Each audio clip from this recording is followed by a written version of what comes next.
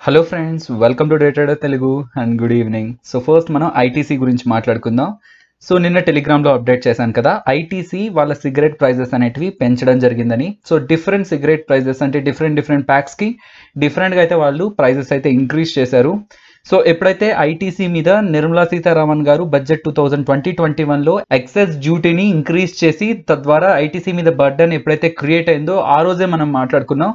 ITC six to seven percent వరకు వాళ్ళ ప్రైజెస్ని increase చేసినట్లయితే ఈ బర్డన్కి ఈక్వల్ అవుతుంది అనేది కాకపోతే వీళ్ళు టెన్ టు ట్వెల్వ్ పర్సెంట్ అయితే రైజ్ చేశారు అని చెప్పి ప్రెసెంట్ అయితే అప్డేట్ ఉంది. అండ్ దాన్ని ఐటీసీ వాళ్ళు కూడా కన్ఫర్మ్ చేయడం జరిగింది.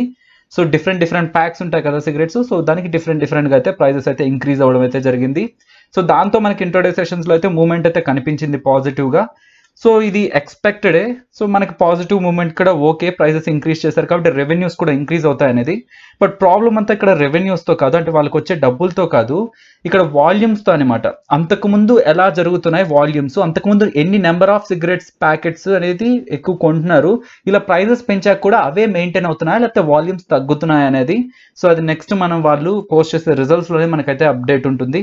ఇష్టం వచ్చినట్లు మనం ఏ ప్రోడక్ట్ ప్రైస్ అయినా పెంచేస్తున్నాం అనుకోండి మంచి లాభం ఉంటుంది కదా అనుకోవడానికి లేదు. బయట జనాల నుంచి కూడా అదే ఆదరణ దొరకాల్సి ఉంటుంది. కాకపోతే సిగరెట్స్ అనేటి డిఫరెంట్ కేటగిరీ కదా.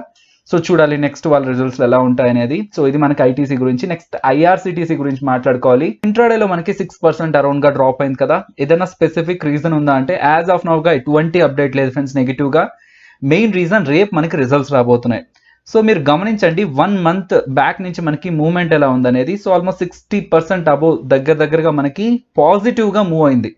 సిక్స్టీ పర్సెంట్ ఐఆర్సిటీసీ మూవ్ అయ్యేంతలా పాజిటివ్గా వాళ్ళకి ఎటువంటి నెంబర్స్కి సంబంధించో లేకపోతే కంపెనీకి సంబంధించి ఇలా ఉండబోతాయి నెక్స్ట్ రానున్న మంత్స్లో లేకపోతే వాళ్ళ బిజినెస్ అంతా కూడా పాజిటివ్గా ఉంటుందనే ఎటువంటి అప్డేట్ లేకపోయినా ఒక పాజిటివ్ హోప్తో ఒక కంపెనీ రైజ్ అయినప్పుడు ఖచ్చితంగా రిజల్ట్స్ వస్తున్నప్పుడు వాటి అన్నిటి హోప్స్ని మీట్ చేయాల్సి ఉంటుందన్నమాట.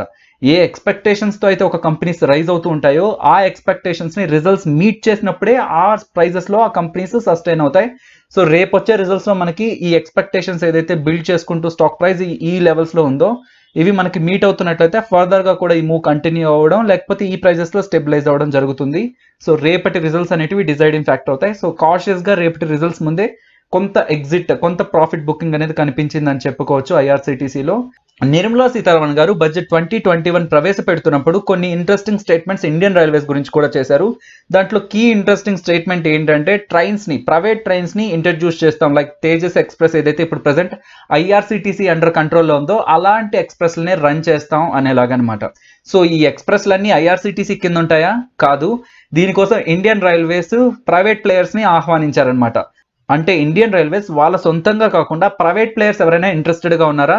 మాకు సంబంధించి ఒక హండ్రెడ్ రూట్స్ దాకా ఉన్నాయి. ట్రైన్స్ వెళ్ళగలిగే రూట్స్ దాంట్లో మీరు ఒకవేళ ట్రైన్ని రన్ చేసుకోగలిగితే రన్ చేసుకోండి అని ప్రైవేట్ ప్లేయర్స్ని పిలిచినప్పుడు టాటా వాళ్ళు ఆదాని హుండై ఇలాంటి వాళ్ళందరూ కూడా పెద్ద పెద్ద ప్రైవేట్ ప్లేయర్స్ అందరూ కూడా ఇంట్రెస్ట్ చూపిస్తున్నారు అనేలాగైతే మనకి లైవ్ మింట్లో అయితే ఒక ఆర్టికల్ అయితే ఉంది ఫ్రెండ్స్ సో మనకి తేజస్ ఎక్స్ప్రెస్ అయితే ఐఆర్సిటీసీ కంట్రోల్లో ఉంటుంది. కాకపోతే ఇలా ప్రైవేట్ ప్లేయర్స్ వాళ్ళు కూడా కొత్తగా వస్తున్నారు అనడం ఐఆర్సిటీసీకి అయితే మంచిదైతే కాదు.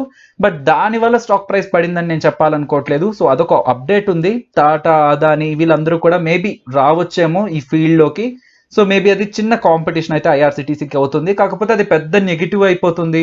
సో దానివల్ల స్టాక్ ప్రైస్ పడిందని అయితే నేను చెప్పట్లేదు. ఈ రోజు అయితే మోస్ట్లీ రేపు రిజల్ట్స్ ఉన్నాయి కదా. సో దానికి ముందు వచ్చిన చిన్న ప్రాఫిట్ బుకింగ్ అంతే. సో రానున్న రోజుల్లో కూడా రిజల్ట్స్ మాట్లాడుతూ ఉన్నంత వరకు కూడా స్టాక్ ఎప్పుడు కూడా డౌన్ అవ్వదు. సో రిజల్ట్స్ ఎప్పుడైతే మాట్లాడడం ఆపేస్తాయో నెంబర్స్లో స్ట్రెంత్ ఎప్పుడైతే కనిపించదో వీక్ అవుతూ ఉంటాయో నెక్స్ట్ ఇమీడియట్గా మనకి స్టాక్ ప్రైస్లో కరెక్షన్స్ అనేటివి స్టార్ట్ అవుతాయి అనమాట సో నెంబర్ స్టేబుల్గా ఉన్నంత వరకు స్టాక్ ప్రైస్ ఎంత పెరుగుతున్నా దానికి వాల్యుయేషన్స్ అన్ని కూడా జస్టిఫికేషన్ అవుతూనే ఉంటాయి. దానికి బెస్ట్ ఎగ్జాంపుల్ మనం డీమార్ట్ అని అనుకోవచ్చు. సో ఈరోజు మీకు అప్డేట్ చేశాను కదా. సో రాధాకిషన్ దమాని గారు సో డీమార్ట్లో తనకి almost thirty six percent around stake ఉంది అనుకుంటాను ఓవరాల్ ప్రమోటర్ స్టేక్ ప్రెసెంట్ మనకి సెవెంటీ సెవెన్ పర్సెంట్ ఉంటే ఓన్లీ తనకి మాత్రమే థర్టీ సిక్స్ పర్సెంట్ ఉందన్నమాట. స్టాక్ మార్కెట్కి తను ఆల్రెడీ పరిచయం ఉన్నారు. కాకపోతే డీమార్ట్తో ఈ జాబితాలో చేరిపోయారు అనమాట top billionaires Indian top billionaires జాబితాలో అయితే చేరిపోయారు. సో రాధాకిషన్ దమాని గారు డీమార్ట్కి సంబంధించిన అతను. మరి వీళ్ళందరూ వీళ్ళకి సంబంధించిన కంపెనీస్ కానీ వాళ్ళ గ్రూప్స్ కానీ ఏంటని చూసినట్లయితే రిలయన్స్ ఇండస్ట్రీస్కి సంబంధించి ముఖేష్ అంబానీ గారు వస్తారు.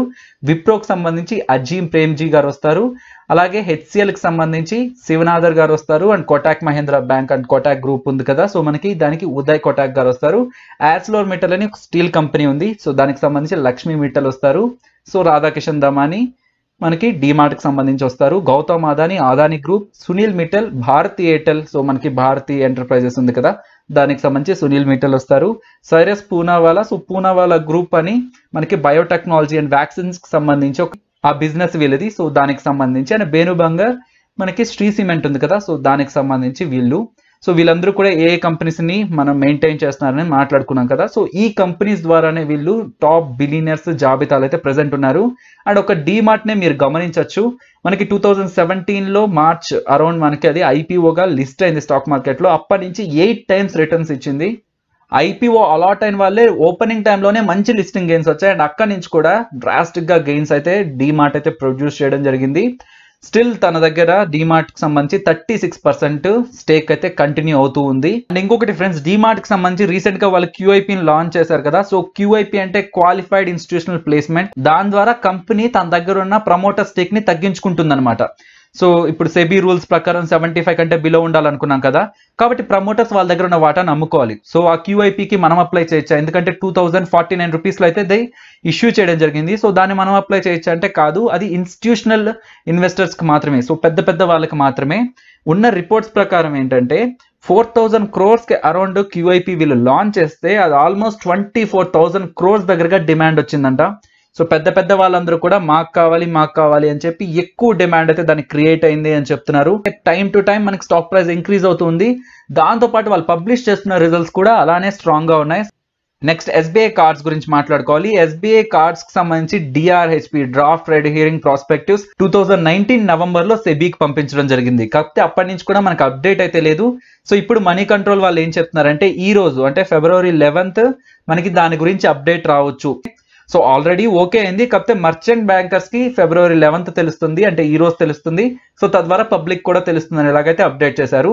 సో ఇక్కడ మనం గుర్తుపెట్టుకోవాల్సింది ఎస్బీఐ కార్డ్స్ వస్తుంది. సో దాన్ని ఎలా మనం అప్లై చేయాలి? అండ్ దాని ద్వారా మనం ఎలా లాభపడాలి? అదంతా ఒక పార్ట్ అయితే ఎస్బీఐ కార్డ్స్కి సంబంధించి స్టిల్ ఎస్బీఐ దగ్గర సెవెంటీ ఫోర్ పర్సెంట్ స్టేక్ అనేది ఉంది. సో ఎస్బీఐ కార్డ్స్కి ఒక హైప్ క్రియేట్ అయ్యి మంచి డిమాండ్ క్రియేట్ అయినట్లయితే ఎస్బీఐ కార్డ్స్ ఒక షేర్లు కానీ ఫ్యూచర్లో ఎక్కువ ప్రైజెస్లో ట్రేడ్ అయినట్లయితే ఆ వాల్యుయేషన్ ఎస్బీఐ లో కూడా యాడ్ అవుతుందన్న విషయం అయితే గుర్తుపెట్టుకోండి ఫ్రెండ్స్.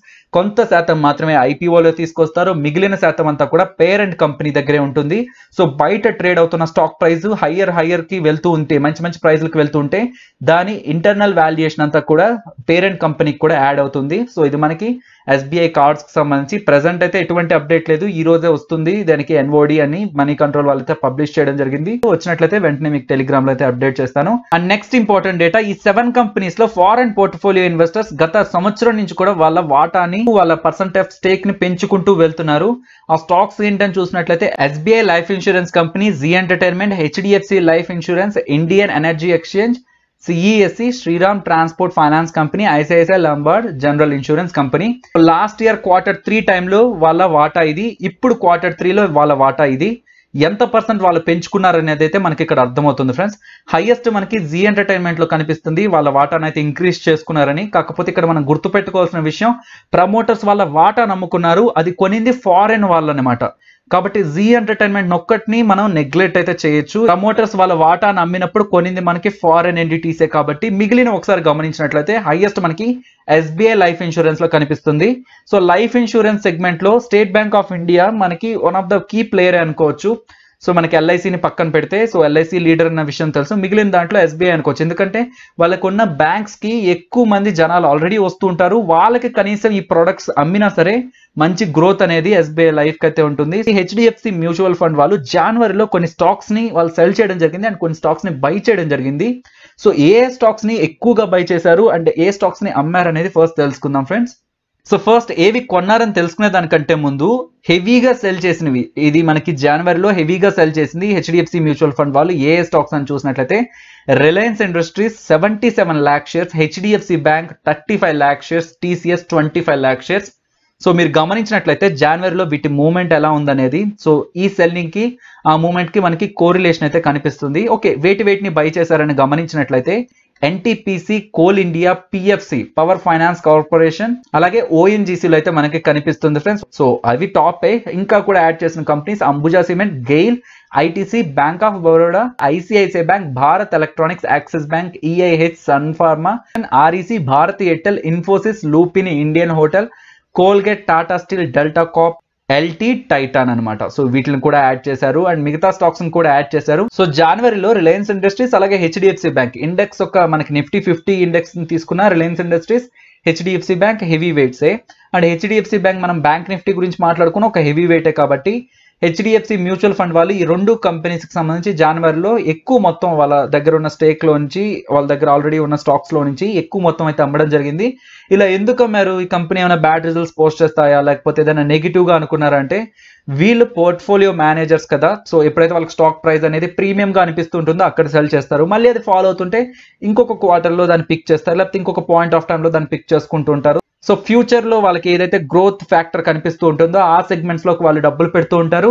ఆల్రెడీ ప్రీమియంగా ఉన్నాయన్న స్టాక్స్ని కొంత కొంత ఎగ్జిట్ అవుతుంటారు. మళ్ళీ వాటిని లోయర్ లెవెల్స్లో కానివ్వండి అండ్ వాళ్ళకి బెటర్ అనుకున్న ప్రైజెస్లో మళ్ళీ యాడ్ చేస్తూ ఉంటారు. సో ఒకసారి Nifty and bank Nifty support and resistance మాట్లాడుకుందాం. So Nifty support twelve thousand fifty and resistance అయితే ట్వెల్వ్ థౌసండ్ వన్ ఎయిటీ దగ్గర గమనించండి ఫ్రెండ్స్ అలాగే bank Nifty thirty one thousand దగ్గర సపోర్ట్ రెసిస్టెన్స్ అయితే thirty one thousand five hundred so నిన్నే నేను మీతో చెప్పాను. So thirty one thousand to thirty one thousand five hundred ఈ రేంజ్లోనే కంటిన్యూ అవుతున్నాం.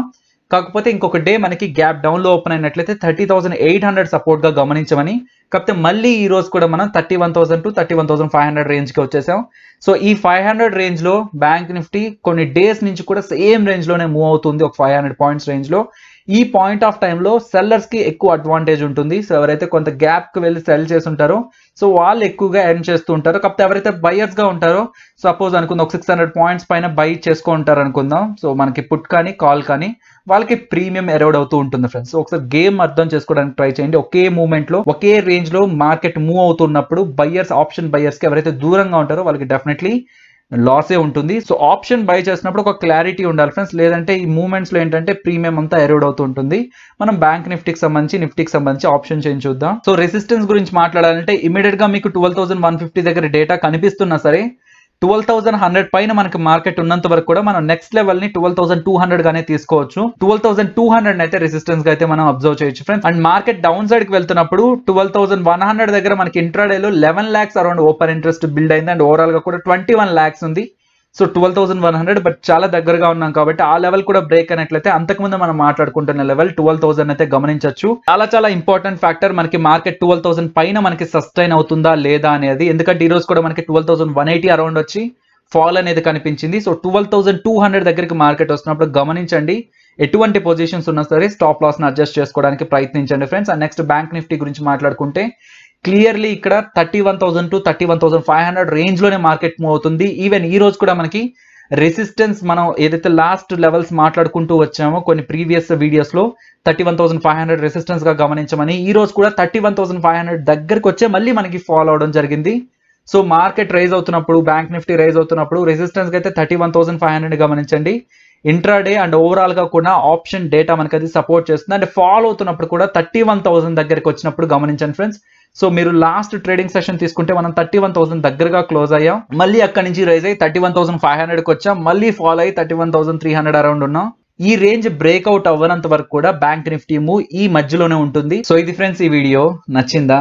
సో నచ్చినట్లయితే లైక్ చేయండి. అండ్ ఈ వీడియో మన వాళ్ళకి యూజ్ అవుతుంది అనుకుంటే షేర్ చేయండి ఫ్రెండ్స్ అండ్ మన ఛానల్ని సబ్స్క్రైబ్ చేయనట్లయితే ఒకసారి కంటెంట్ చూడండి. కంటెంట్ నచ్చినట్లయితే ఛానల్ని సబ్స్క్రైబ్ చేసి పక్కనే వచ్చే బెల్ అకౌంట్ కూడా క్లిక్ చేయండి. నెక్స్ట్ ఇంట్రెస్టింగ్ వీడియోతో మళ్ళీ మీ ముందుకు వస్తాను. అంతవరకు టేక్ కేర్ జై హింద్.